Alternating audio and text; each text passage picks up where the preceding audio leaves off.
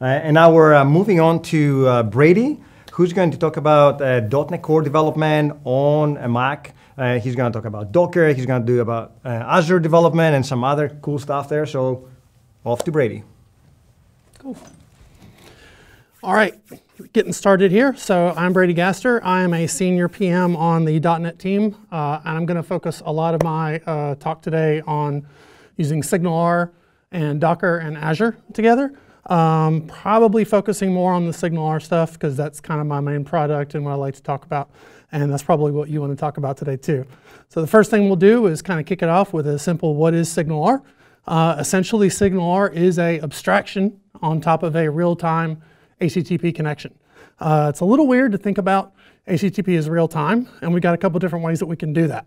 So go ahead and get started with the demo. So what I've done is I have a couple of projects open. And right here, I've got a pretty simple project open that if I were to run it, what we're going to see is just a simple spaceship on the screen. And the idea behind this is that I want to be able to click that spaceship and move it around the screen. So if I click it, see right now nothing's really happening. And definitely if I were to open it up into another browser, nothing's going to happen as well either. Uh, and that's where SignalR comes in, because we can actually make things uh, happen uh, directly inside of the page. So what I'll do is I'm going to show you how to get uh, started with SignalR without having to even use npm. What I'll do is I'll use unpkg, and I go to the unpkg, I'll look for SignalR, I find the 3.12 release, the one that we just put out, I'll click on View Raw. Now I'll copy this, and I'll paste it right here into my source. Now what I'm going to do is I'm going to put double at signs here because I'm in Razor. So if I were to scroll down, you'll see that the first thing is, let me get this colorization. It's a little odd. I'm a colorization problem. So you'll see that the first thing I do inside of JavaScript is to create a new hub connection. Now that's actually a live connection back to my SignalR hub on the server side. Talk a little bit more about hubs in a minute, but the idea here is that I just have this JavaScript code, and later on I'll be doing the same thing with .NET code, where I'm going to have a connection from my client that reaches back and talks to a SignalR hub. If I open up the hub here, see that I've got game hub, and really all I have is a move ship method. And what I'm going to do is I'm going to pass the y and x coordinates over, and whenever I get that on the server side, I'm going to turn around and just send it back out to all the clients. In this case, you'll see that I'm doing clients.all.sendAsync. I'm just going to basically make an async uh, call out to all the individual clients that are connected to that hub. And the point where I do that, uh, I'm going to be handling that uh, event here with the ship moved. So what I'll do is on the server side, on the client side, I will actually make a call here to uh, invoke the move ship method. This will invoke on the server side. I'll turn around and then I will invoke an event, uh, fire an event called ship moved, and I'll pass it the XY coordinates that we got. And inside of my client code, you'll see right here, I've got connection.on, and then I'll handle that event and do some HTML uh, magic directly inside the client. So now that I've got that running, I've got my script tag added in here. And we've got, uh, we've got SignalR on CDN.js coming. We have an older version out there. We have a current pull request out to the nice CDN.js folks to get it updated. Uh, but my favorite way to do it is really just using unpkg. It's pretty easy to get it there. Now what I've done is you'll see that I've got my window open. I'll paste in a new browser window right here. And when I click this and I move it around, you'll see that as I move it around, it's going to be moving over there on that uh, client as well. Now the way that works essentially is that SignalR can figure out whether I can run WebSockets both in my client and on my server side. And if I can, it's going to use WebSockets by default. But if it can't, it's going to figure out a way to back off and be more intelligent because it knows that I want real time and I don't want to have to you know, code each individual real-time capability. The way that works essentially is that at first, you know, before we had WebSockets and before we had long polling and all kinds of stuff, you would make a request from your client to your server, your, your uh, server is going to say, I got your request, it's going to do a process, and then it's going to fire an event and send back everything to the client. And that's kind of how your, your request response model would work under long polling, which is what you'd probably have to do way before WebSockets if somebody said, I don't want to have to hit the F5 key. All right? So once we got WebSockets, uh, you have this capability where the client can basically say, I want to make a request to the server. I want to start a real-time connection.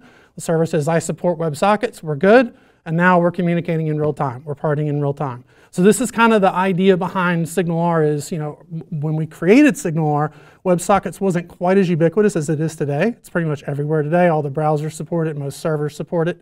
Uh, we support it all over Azure.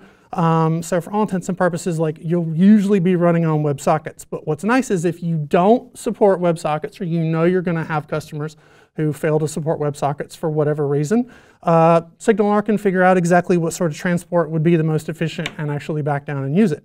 Let me do a quick little demo of that. Now if I go over here, we're done with unpkg, so I'll close that. So up here I've got this move the ship app uh, that you just saw me write uh, running out in Azure. So I'll go ahead and click Browse, and feel free to move the ship around if it, if it excites you. Uh, now what I'll do is I'll go here, and I want to show you that we are connected using SSE.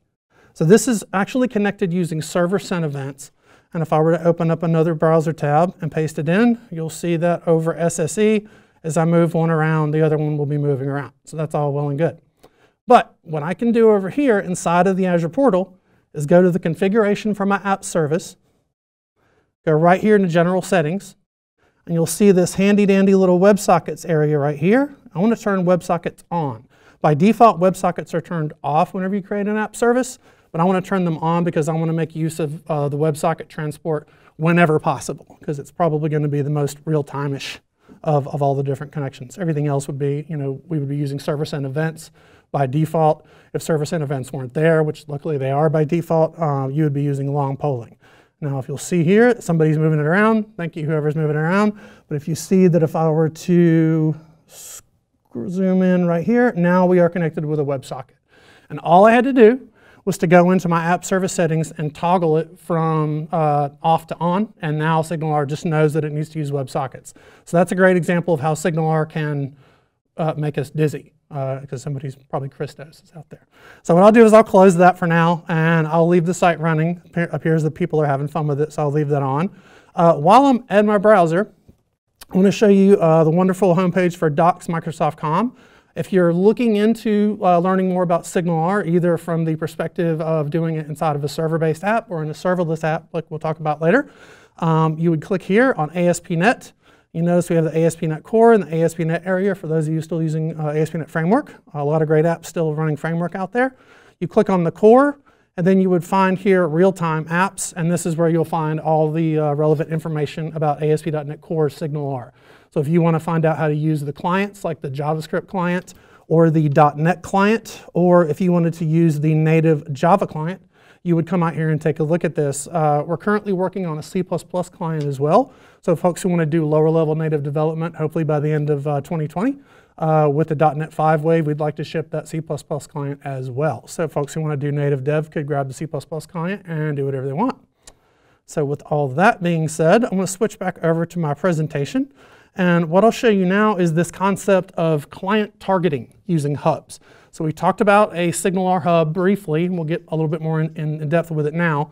But what I want to talk about is how you can actually specifically target an individual client or set of clients, or in this case, a group of clients, uh, if you wanted to send messages out to, you know, an army of different clients that happen to be, you know, out there waiting for you. So the first thing that you've already seen me do is I wanted to send a message to everyone. So I wanted to send a message to all the connected clients all at one time. So I would just use clients.all.sendasync or sendasync core. And at this point, we would actually call that method. It would call it on every single connected client that happens to be connected, 1,000, 5,000, doesn't matter. All the clients will get that event at that moment. But if I wanted to target an individual set of users, such as a group, like let's say I wanted to target only the folks in the Seattle group, you can actually add individual SignalR connections to logical groups that are managed on the server side, or if you're using Azure SignalR on the service side, and then I can actually send a message to that group, and only the folks or only the, uh, the clients that are, have been put into that group would actually receive those individual methods. So that's good. You can actually use client targeting to get down to you know, a pretty you know, small group of users. But let's say you only want to target one specific user. In this case, you would say clients.user, and you would pass in a name. You could also say users, and you could pass in a series of names. Uh, but in this case, I only want to send a message to Brady, to myself, um, and I only want to send a message just to me as a user which means if I'm connected on my phone, on my laptop, on my PC, on my TV, whenever a message comes to Brady, if I'm logged in as me on all those devices, I'm going to get that message on all of those clients all at the same time. So that's kind of it's kind of nice.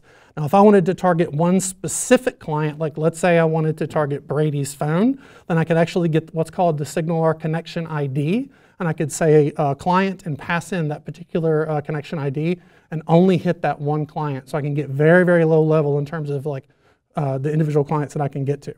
So, got one more demo here. Um, I've got a few more demos, but this is the next one.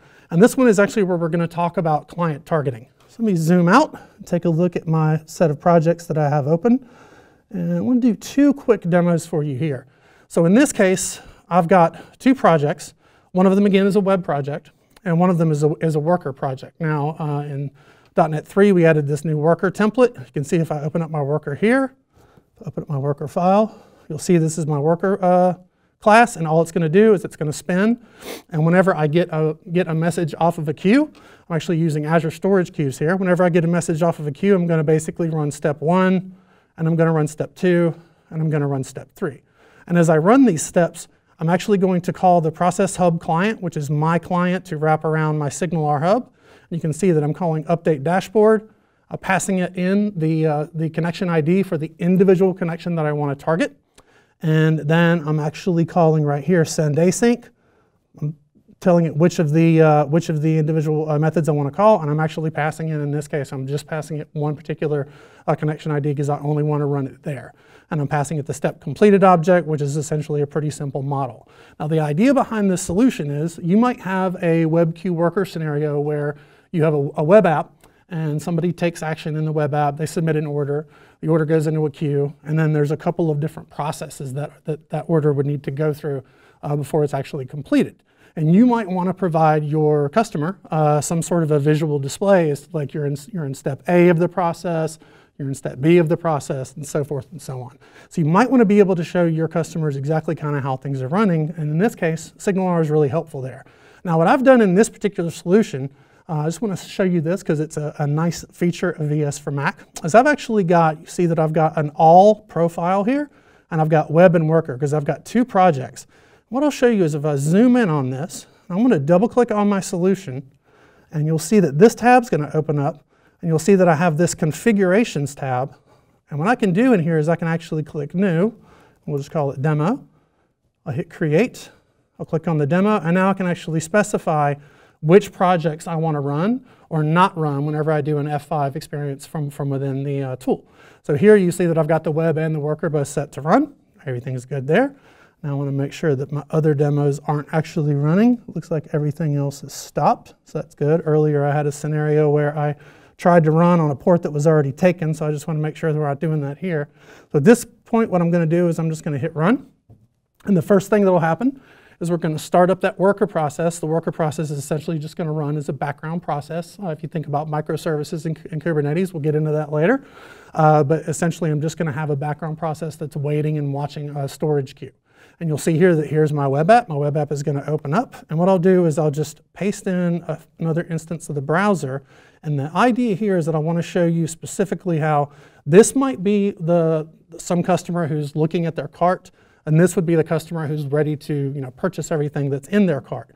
I wouldn't want to start that process and, and you know, accidentally impact some other user. So that's what's great here with me being able to use the connection ID to target an individual user. So in this case, I'll start this process. I'm passing it the, the, the connection ID, and you'll see that it's only going to run down there. It's not going to run on this top one. If I were to start the process up here and then start the process again, you'll actually see that we're going to have two different separate processes and two different timelines in terms of it actually processing everything. Now I started a second one, so it's going to go through there again. Clicked it twice. So this is an example of when you can use SignalR, uh, specifically the SignalR client for .NET inside of, say, a background uh, running a microservice like a worker uh, project. And then you can use the JavaScript client on the, uh, the HTML side to actually listen for the incoming messages. So what I'm doing at that point is I'm actually just sending messages from one client using .NET and receiving those messages from another client using JavaScript.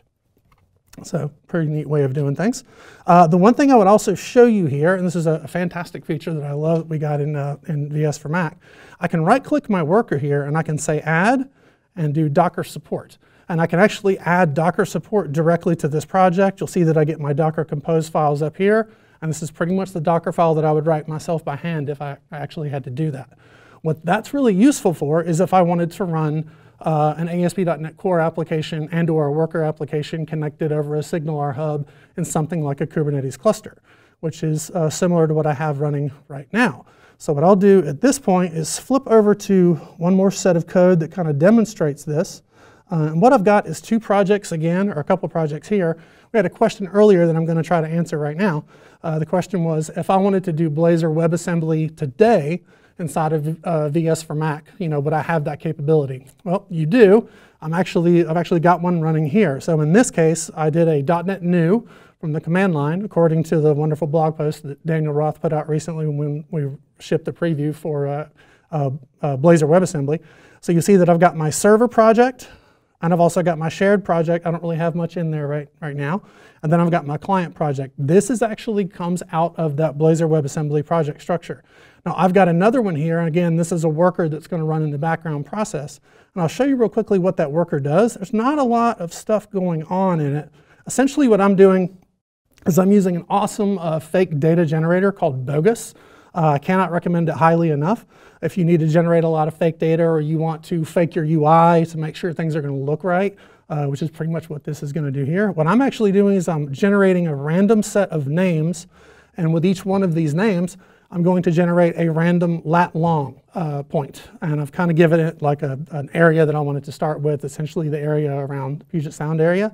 So what's going to happen is this worker is going to run and every time it runs, it's going to create a fake map point, and then it's going to send that map point to a, a SignalR hub, and it's going to pass it some information. Now, what that SignalR hub is simply going to do is to turn around and bubble that up into the client experience itself. Now, in my case, what I've got here is if I were to expand my client project, now this is again a Blazor WebAssembly project, if I were to expand this, and I go right in here to Pages, and I open up index.razor, what you'll see is that I'm actually using the .NET client for SignalR directly inside of my Blazor WebAssembly Razor uh, page code. This is great because I get all the you know, fidelity of .NET. Um, I don't have to do the context switching between JavaScript and uh, .NET if I don't need to. And in this case, everything I'm doing, I'm doing directly inside of .NET code. I'm not doing any JavaScript magic whatsoever. Uh, and I'm not going to run this locally, but what I will do is I'll show it to you running up in uh, my uh, Azure Kubernetes uh, service instance. So what I can do here is I can actually click on my DevEKS bookmark that we have here. Here's the link for it if anybody wants to look. And you'll see here that as I, if I were to zoom out, you'll see that just random points are, get, are just getting generated by that worker process. And as the worker process generates those random points, it's sending a ping up to my SignalR hub, which is running in the server side of my Blazor WebAssembly uh, solution. It's actually the server part. Um, and then that hub is basically bouncing the message out to the uh, .NET client in my Blazor WebAssembly you know, client project. So at this point, you know, we're getting messages out of the cloud. We're, we're, pu we're pumping them right into this Blazor uh, WebAssembly UI. And if I were to, pardon me, flip over here to my demo microservices uh, AKS cluster, and I, were to flip here to monitor containers, now these are Docker containers that I was, you know, I, I created these Docker containers and wrote the, the uh, Kubernetes Helm myself and published these up. I did that all from within VS for Mac. Um, I did use the command line to actually uh, do the uh, Docker publish. I'm looking forward to those tools coming one day soon too. If I were to click on containers here, and what I want to do is I'm going to filter uh, on a namespace, and I'm going to filter on my bogus map namespace because that's where I happen to have this code running. And if you see this map.generator here, that's actually the background process that is pinging my signal SignalR hub and sending it points. You can see we've generated quite a bunch of points since we started this demo today. Uh, if I were to click on View Live Data, which you'll see down here in the bottom of my browser window, is the outputs, the, the logging output of that individual uh, worker project just sending data up into the cloud. So you can see this is just the log data. And if I were to click here on the map.ui and show you the live data here, now essentially if I just go here and I hit refresh, should see there's our logs coming in because I actually made it made a hit to that site. And if we were to again look at this one and look at the view live data, you'll see that as we have points popping into the log, we have points popping into the map. And the idea behind this, the reason I want to show you this is it's a great use case if what you want to have is just a, you know, a screen in your team room or a dashboard that you want to monitor forever and ever, uh, SignalR is really, really great for those things because you can kind of set up code that will instrument out, you know, as a process happens, you can see individually, you know, each step of it. Or in this case, you can see dots appearing on a map. So that's the nice thing about SignalR is it's really great for adding that, that UI sugar and you know making things you know appear real time, which is always fantastic. Now, if I flip back over to my deck one more time, I want to go here to, looked at that. So real quickly, uh, another feature that we added in the recent releases of SignalR is this concept of automatic reconnection. It's one of my new favorite features. And what we have some great documentation for it. Let me actually go back to docs MS-Com, and I want to show you this in the SignalR area. If I were to click here and look at our clients, and right now I'll just go to the .NET client because that's where we are today. You can see over here, handling, handling a lost connection. You can see that we have some pretty sensible APIs, specifically in this case with automatic reconnect. And if I pass, if I just call with automatic reconnect, it's going to try maybe four or five times. And the documentation points out here that we wait zero seconds, two, 10, and then 30 seconds, and then we stop trying. But you can customize that if you want to. Now on the .NET side, you can customize that pretty easily, I've done right here. Again, this is a similar project structure than what we saw just a moment ago. Uh, in one case, I've got my SignalR server, and the idea behind that is I'm going to run my SignalR server outside of my Blazor app, not for any particular reason. I just might want to have something connect to it that isn't my Blazor app. So I wanted to uh, take that and split it apart. Um, and what I'll show you in that, if I were to open up Startup CS, um, here is a handy block of code and it comes to uh, enabling CORS. Uh, sometimes if you want to have, you know, site A is going to communicate with site B either through REST API or with SignalR, you're going to have to turn on CORS, and this is about the the least amount of CORS code I could get in here and make everything work. Essentially what I'm going to do is I'm going to tell this app, which is running on port, let me see here, running on port 4000. I want to tell this app that it can trust uh, anything coming from port 5002.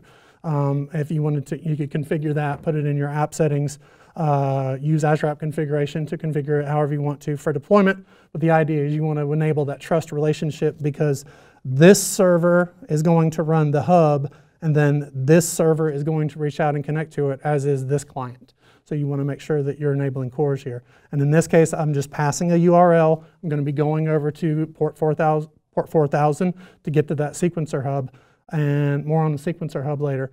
Uh, and in this case, you'll see that I've called with automatic reconnect, and I've passed it, I've passed it an array of time spans, essentially getting longer and longer and longer each time. Um, so what I'll do here is I'll scroll down a little bit more and I'll show you that the hub connection and this wave of with automatic reconnect love, we've also added uh, you some new events, specifically reconnecting and reconnected, so that you can handle those events and customize your UI to basically tell people you can't click the button right now or you can't fill out the form or you know, insert whatever it might be right here. But we gave folks those uh, events so that you could have uh, more capability in terms of being able to handle that, you know, those, those reconnecting situations on the client side. You also have this inside of the JavaScript client too, so you can do everything you'll see me do in a Blazor WebAssembly project. You can do this inside of JavaScript as well. Uh, so the first thing I'm going to do, just to kind of show you how this reconnection would work, is I'm going to run this inside of my uh, command line first. So I'll say open in terminal here from that SignalR server uh, project. And here's my SignalR server. And I can do .NET run.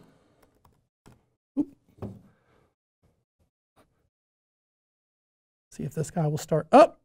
And once the SignalR server starts up, I don't, I don't want to click the URL because there's not going to be any UI there. It's just going to be my, my hub running in the back.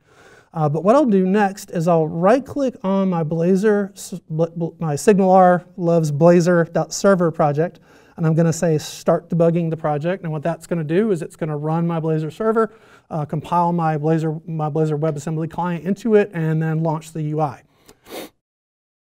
And it's just a pretty basic uh, UI here. If I were to open up our debugging tools, I'm not going to do any Blazor client-side debugging yet, but if you could see our debugging tools, it's important because I want, to, I want you to see how this will change, and then you'll also see over here that it's trying to reconnect. So if I just stop the server, see now it says connection refused, it's trying to reconnect. There's no server to connect to, so it can't, but it, it does tell us, hey, I'm trying to reconnect. I'm trying to reconnect in a moment. Maybe if the server comes back online or I exit the tunnel, now we're reconnected again. So this is great because the user won't have to sit there and click refresh and you can provide cues to tell them for just a moment, we don't know how long, you might have gone into a tunnel, the application is not connected to your SignalR hub, so we're going to do what we can to get you reconnected again. Uh, so it's just a nice way for you to be able to you know, help your users understand what's going on in the application. So with that said, I'll go ahead and close this down and I'll stop everything else and we'll flip back over to my slides one more time. And this is one thing that, you know, early on in SignalR, we had a lot of questions about scaling out with SignalR. Um, and I'm going to talk to you about why. Um, and this is pretty much going to be, you know, the end of our presentation on SignalR and, you know, running your, your you know, .NET Core app inside of a Docker and creating your Docker containers and uh, side of VS for uh, Mac. So what I'll do right here is I want to show you the scaling out for uh, Azure part. Now, something to think about is that your hub lives on your web server. Okay? It lives on your application server. That hub is in your, in your server. If you were to scale everything out, that hub still lives on your server. If you were to take your application and move it onto multiple servers, now you're going to have multiple instances of your app along with multiple instances of your hub. Bad things can happen. Here's, here's what it would look like. So in this case, the hubs are server bound, so one client sends a message. All the clients or the different groups that are supposed to get it will receive the message. See that there's the third, third request coming in. But what happens when you scale your SignalR application out into a server farm? This is when things get a little tricky. What will happen is that your request will come in and it will hit the server.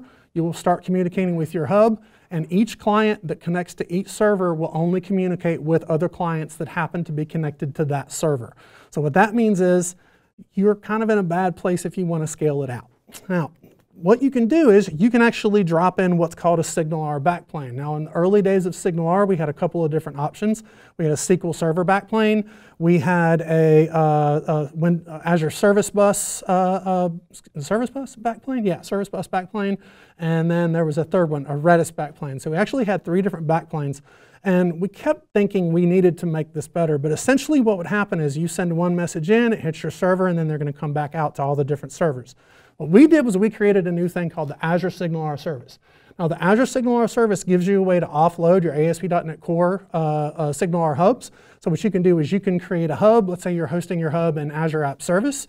You can actually put put your, your app in Azure App Service, and then you can turn on Azure SignalR service that basically will cause all the traffic that goes to WebSockets, that goes to your hub, to go there instead of chewing up the bandwidth going back and forth to your, to your Azure App Service. Essentially, the way that works is your client reaches out and it makes a call to your ASP.NET Core app. You're going to get pages, you're going to talk to your hub and all that jazz. And then what will end up happening is the Azure SignalR service has a server-side connection back to your hub very much, I think it's actually a SignalR connection back to your hub. And what we'll do is we'll instantiate four or five connections between your server-side app and your Azure SignalR service uh, hub. What that means is that on the server side, you only have about four or five of those active connections instead of 100,000 connections. Now, what that also does is that frees up the HTTP traffic going to your actual front door of your web application so that that front door is not handling all of your normal HTTP1 traffic and all of your WebSocket, your WebSocket traffic. All of your WebSocket traffic basically goes over to the Azure SignalR service. The other nice thing that Azure SignalR Service can give you is the concept of serverless SignalR. So you can actually use Azure Functions, have a nice uh, feature inside of them called Azure Function Bindings, and you can actually apply the Azure fun Function Bindings for SignalR Service so that whenever you make a call into your Azure function, it will call back to the SignalR service, and then if you have any clients that are connected to the Azure SignalR service instance, they'll get those messages. That's really helpful when you're starting to you know, cloudify your applications and doing serverless dev and all that good stuff. Uh, in this case, you wouldn't even have to have a server-side hub anywhere. You could just use the Azure Signal SignalR service instead of having to actually craft your own hub. Um, but if you start getting into Blazor development, what you'll see inside of the tooling is that we're giving you the opportunity to create Azure SignalR service instances whenever you're deploying your, um, your app services, because we want you to have that, that enhanced capability and that enhanced uh, performance. We want all of your WebSocket traffic going to where it should go, which is the Azure SignalR service, and all of your normal HTTP traffic to go back and forth to your actual web application. Well, that's pretty much all I have to show today. I think we have a couple of questions. My good buddy Christos is back in the room now, so I think we'll turn it over to him for a question or two. Exactly. Well, thank you very much for uh, showing us all the cool stuff there. Um, we actually have a couple of questions, but before we jump the questions, I want to give a, a, shout out to uh, Simon here, who's actually working out on his static bike while watching the Sweet. the sessions. Right? Good. That's amazing. Good. Fitness and learning at the same Good. time. Let Gotta me jump fit. quickly to the questions. One of them is. When should I choose Azure SignalR uh, services over hosting my own SignalR service? That's a great question. Um, and I presume what that question might be asking is, let's say I wanted to create my own, you know, server-side application like you saw me do a couple of times here that's just running a hub. In that case, if you scale that thing out, remember you're going to scale it out and all of your, you know, if you connect to it, you're only connecting to it. Clients that only connect to it and send messages into it will only be hitting clients outside. The reason you would Azure, use the Azure SignalR service there is it not only gives you that backplane capability, but you don't even need to write a hub. You can actually call the Azure SignalR service directly uh, using JavaScript, Java, uh, or any of, other, any of our other clients.